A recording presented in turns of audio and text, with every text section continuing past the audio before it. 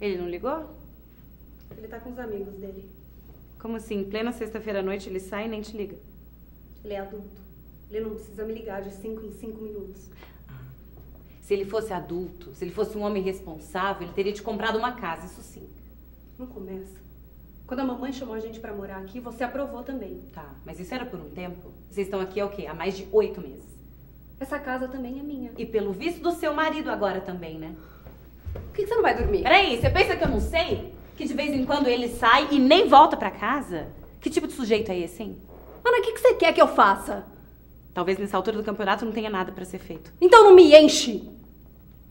E você sabia que tipo de pessoa ele era? Assim, o que, que ele gosta de fazer, com quem ele sai, essas coisas? Isso não é da sua conta.